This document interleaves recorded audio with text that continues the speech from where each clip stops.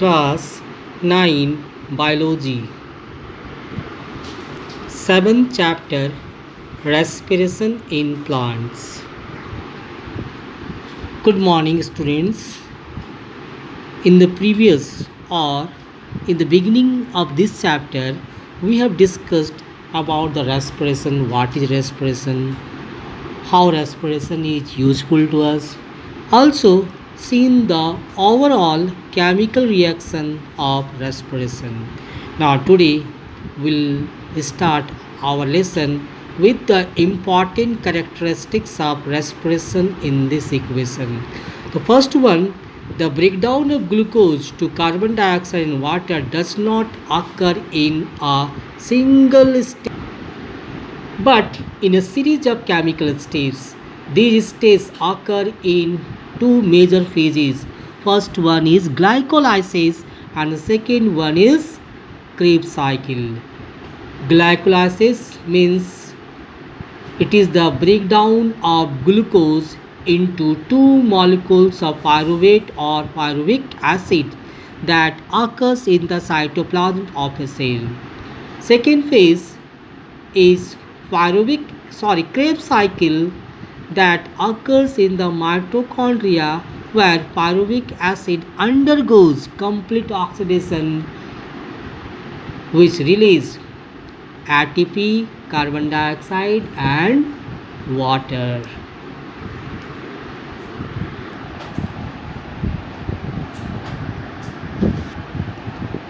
So, in the first two phases are glyco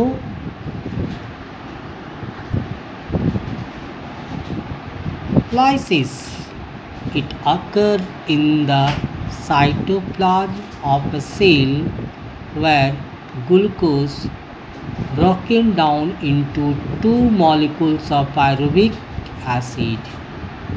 Glucose undergo partial oxidation to release two molecules of pyruvic acid. Here it is not the correct statement undergoes partial oxidation because here oxygen is not present so simply we can say that glucose undergoes breaking down to release two molecules of pyruvic acid with the release of very little amount of energy that is 2 ATP. This pyruvic acid move into the mitochondria of the cell where pyruvic acid undergoes complete oxidation to release carbon dioxide, water and sufficient number of ATP that is 38 ATP. So here in the mitochondria it is known as Krebs cycle. So the two phases are glycolysis and Krebs cycle. Second, each breakdown step is due to particular enzyme.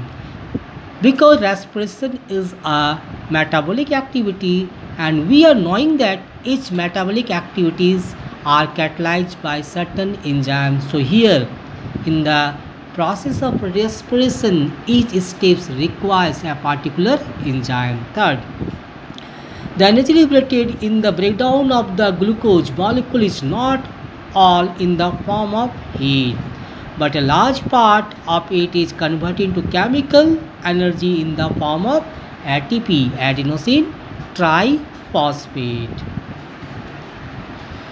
Now, when energy in the form of ATP is used, the ATP is converted into ADP means ATP contains three phosphates. When that phosphate is utilized to carry out different function, ATP convert into ADP adenosine diphosphate.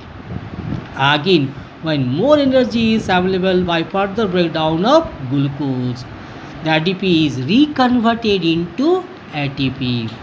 See how? This is ATP. It contain it contain three phosphate molecule. When energy is provided to the cells for their metabolic activities,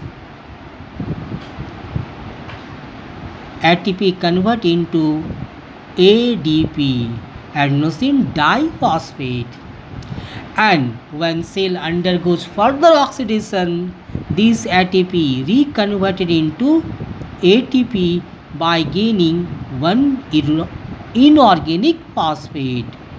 So, by the process of losing phosphate in the form of energy as well as, as, well as by gaining phosphate ATP convert into ADP and reconverted into ATP and that is represented by a diagram in your book in figure 7.1 so here when glucose undergo oxidation it releases energy carbon dioxide and water. So here it is glucose that undergoes respiration and the result of respiration is the production of energy.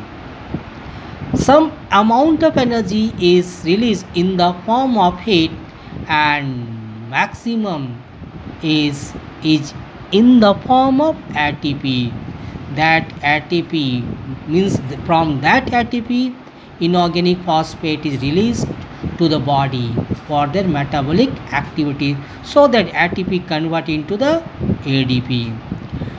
ADP by gaining one inorganic phosphate by the breakdown of glucose it again becomes ATP. Thus, when phosphate released into the body, that phosphate is used to carry out in various metabolic activities. Understood all of you? Once more, here glucose undergo oxidation to release carbon dioxide, water and energy. This energy is released in the form of heat as well as ATP. ATP provides energy to the body for various activities. So when ATP provides energy to the body for various activities, it converted into ADP. This ADP by gaining inorganic phosphate from the oxidation output, it reconverted into ATP. Thus, a cyclic process takes place in the body. Understood all of you? Now, see, ATP, the energy currency of a cell. All activity inside a living cell needs energy which is available in the form of ATP as the immediate source. Hence, this chemical compound ATP is described as the energy currency of the cell. Now, living organisms show two type of metabolic activities. One is said to be anabolic and the second is said to be cata. Now, see the topic types of metabolic activities. So, there are two types of anabolic and second is known as catabolic.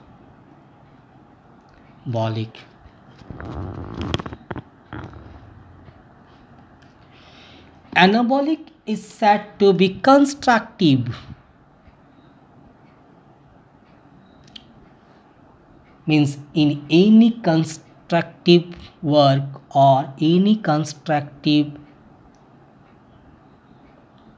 uh, activities in the body energy is utilized.